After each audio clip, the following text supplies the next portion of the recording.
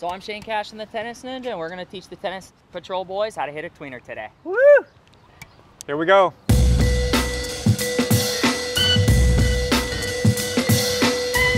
What's up, tennis fans? Got another collaboration with Tennis Patrol and Tennis Ninja. Last weekend at our USTA 4-0 tennis match, our last match of the season. it's not. Was it? Wasn't our last match. It wasn't our last match of the last season. match. But it was the last match that counted. It was To the last match that counted. And we had to clinch this win to take the whole season. And it was all up to Shane to come and save us. Just so happens he hit an incredible shot. It, it was a tweener and it was amazing. And we all saw it and witnessed it. So we just were sad that we didn't get it on camera. So today we got him back and he's gonna show us how to hit the tweener because we're all blown away. All right, so guys, for the tweener, there is multiple um, progressions in order to be able to hit this shot. Number one, you wanna make sure you get right off the bat is the grip. You wanna make sure you have a continental grip, guys, which is the serve grip as well as the volley grip. You wanna learn actually how to hit this shot like this on the side of you, and you're actually gonna do a pronating move, which is very similar to the serve. You just only do it down here. So you wanna learn that dexterity with that grip in order to flick that racket in the contact point to hit the ball. Number two, guys, is the contact point. You wanna make sure that the ball is hit in the right spot when you go between the wing. When you got try to hit the shot for the first time, I see player players all the time go to the baseline and they try to hit it right away. That is a no-no. That is a confidence rejector. That's gonna make you not wanna hit this shot. So you wanna keep it fun, but you also wanna build confidence. So in order to hit the tweener, once you have the grip, you wanna make sure, guys, you master the contact point, which is actually right here. It's slightly behind you, which is actually gonna require you to run over the ball in order to actually hit it and make the racket face up. So step one, you take a ball and you basically face away from the net like this with the continental. You drop the ball next to you, slightly behind your foot, and you just make contact like this. So you wanna make sure that you just get the contact point slightly behind your foot with the racket facing up so you can clear the net. Once you have mastered this contact point and you feel comfortable with it, then you actually transition to the between the legs part. So what you're gonna do is exactly what I just did, except you let the ball bounce at least three times so you can kind of see where the ball is in terms of height and you feel comfortable walking over it. So I'm gonna demonstrate here. So I'm gonna drop the ball, it's gonna bounce like three times with my racket up. And you kind of saw how I walked over it there. So you wanna make sure, again, the contact is in the same spot as next to you. Your only difference is now you're actually gonna go over the top and make that racket also view that same contact point. Number three, now you're gonna actually try and run the ball down. So once again, doing this and this, you're gonna wanna spend like a lot of time doing this. You don't wanna just progress right away into the actual hit. Once you have done those two things, you're actually gonna attempt to run over the ball. So you're gonna do a three bounce again, but you're gonna toss it a little further in front and a little higher to make it kind of feel like a lob. So I'm gonna run the ball down, I'll demonstrate again. You're gonna toss it, let it bounce three times with the racket up. And on the third one, kind of shanked it, but you can kind of see the contact I'm going for, right? You wanna make sure that again, this is consistent in every single attempt you have. And the last one, once again, you've done this. This right here, I personally spent maybe like 10 minutes alone just doing this, because that's how you learn how to get comfortable setting up your racket and getting the contact point. Now comes the real one. So you're gonna actually try and toss the ball. You're gonna get it in one bounce like a realistic point, or you can have someone feed you. And the difference here with this one versus everything else we've learned, you gotta get that racket up here in front of you. That way, when you swing, you actually have momentum to build into your shot and gives you the power you need to hit the ball all the way from the baseline. So I'm gonna demonstrate, and we'll see kind of how this goes. I'll give it one bounce. Kevin, if you might wanna move out of the way just in case I shank it down the center. And it'll kind of look something like this.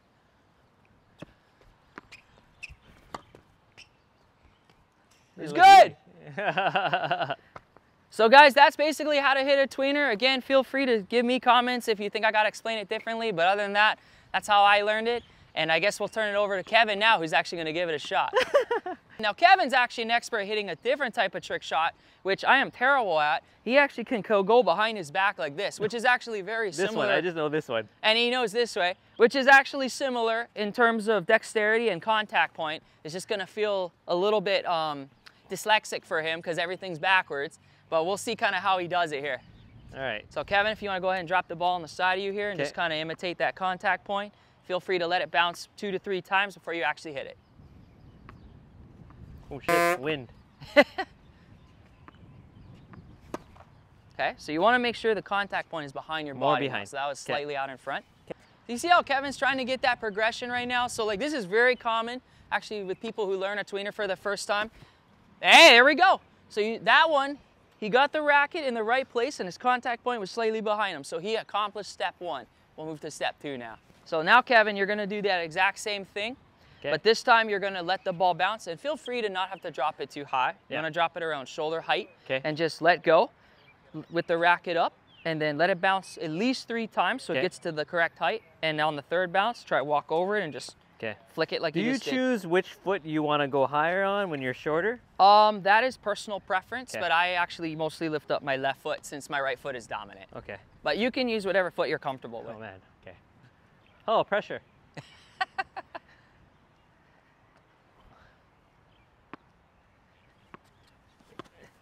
I Okay. did. I didn't do it. so a. did you guys count how many bounces that was? That's three. I guess he forgot Coach Shane's instructions here. that was two So only. Was that only you two? want to get at least three bounces, okay. and then uh, feel free. You don't have to toss it yet, because Yeah. that's a that's like step three. Yeah. Just let go Okay. from like shoulder height, and then just try and walk over it.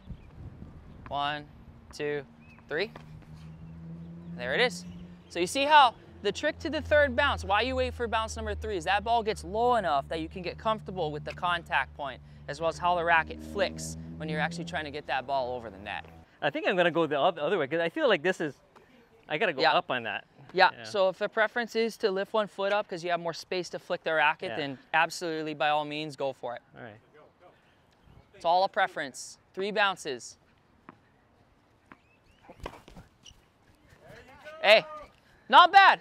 So I like that. He did take his time kind of walking up to that ball though, but he did a good job on getting over the top of it and getting that racket in the right spot. Not bad, because that was actually the first try with no editing. Yes. Oh, I guess Bal's gonna give it a try now. Okay, so you- that, that looks too easy already for you, so you can go between the legs now. Okay, I got this. Okay, try one through the legs with a three, two to three bounce. So he did two, two. See. So that's he a two two, bounce. as so well. you want to give yourself enough time you Val, let it to bounce kind of twice, too. process yourself hitting it. That's Let two, it bounce one more time. work. You're bouncing it So twice he, too. Bao is a two bouncer. There. Okay, you're you're progressing fast, man. Okay, so now you're on third step where Kevin is. So from here, you toss it again three times, but give it more of a and Sean, maybe. realistic kind of feel. Toss it high, toss it towards Yeah. the baseline, try run it down, but go three bounces. See if you can time it. Okay, that's too close to the service line, but let's see if he goes for it. so you see what happens, guys, when you have too much time to actually think about and set up? That's where the worst tweeners happen. The ones that are the best are the ones where you feel like you don't have any time at all to hit it. But you've done it enough times like this, you can feel the racket move. So you want to try and get it like kind of closer to the baseline. My, my wrist can actually hit this. Yeah, that's a good one. Two bounces, two, and oh, here we go. Okay, so now if you want to move on to the real one, try it in one bounce. So Kevin's already on boss level, or uh, Bal's on boss level already. I think my wrist can hit my my jewels too. Okay, so what I you're gonna know. do is you're gonna Risky. start at the service line, and you're gonna do you're gonna give it a nice high one, but more towards the baseline. Run it down with your racket up like this, ready to go. Then when you're ready, lift the foot up and just give it a swing. I think once you're Oh, first try! your wrist your wrist will stop. Tennis and patrol in one try. So you'll stop and it'll. Probably I want to. I want to say I appreciate Shane coming out, teaching us this. Um, it's something that you don't think you're ever gonna learn. So, and he broke it down where it's very easy for us to understand, and not many people do that. Thanks, man. Oh, no worries. Thanks for having me, man. Appreciate Tennis Ninja. Guys, go check out uh, Lokahi Tennis. We have a summer UTR series we're going to be running out in Kailua. Um, play days. So basically, it's a non-elimination format. The community's all invited to play in it. Guarantee get at least two matches throughout the weekend. Set up for you, scheduled for you. Um, we also have a college tennis junior camp coming up in July with three Division One college tennis coaches. So any aspiring juniors out there that's wanting to play college tennis or just learn from guys who are in the field, as well as just get some good tennis to practice and get learning and getting better, come check out Lokahi Tennis in July, guys. It's going to be good. Awesome. Aloha, guys. Have a good one. All right, Shane, I know when you hit this amazing tweener, uh, you guys had lost the first set, right? So what happened in the second set? What was the score in the second set? And what what what changed to the game after you hit that tweener? Gosh, um, well, first of all, I mean, like, we totally had that first set. Sorry, Wall Club guys, but like, but no, um, no, it was it was close. It was a hard fought battle, and we just missed that first set. Um, in the second set, the momentum was clearly like 50-50, but we just could not break through, and we needed some kind of piece of inspiration, I thought, to like fire us up, because we were a little bit low energy as well, because we thought we had the first set. Um, so what happened was, there's one point, I think it was like at 2-1 or 3-1, we were up a break, we just got it, and we were determined. We were like, I think I was serving, and I was like, we're gonna get a hold, Matt. Like, we, we need this. We can position ourselves for the second set and tie it up. So like, there's one point going on, and our energy was really high.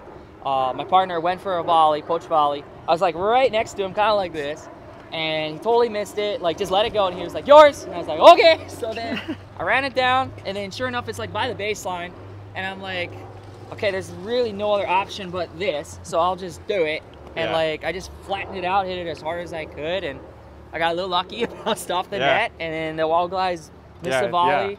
I, I saw Um, it. and that was it. Like I thought the I let out a big come on, every court heard me, and uh, that was that was the real momentum change because then Yeah. we could feel the energy on the other side dropped a little bit. Like the belief was all of a sudden like kind of taken out of him for a little Yeah. bit. Yeah. So my partner and I just capitalized and we just pushed hard and, and then we tied the third set up and we eventually won the tiebreak too. So Nice. one of my more memorable doubles matches I've had in a long time for sure. Yeah.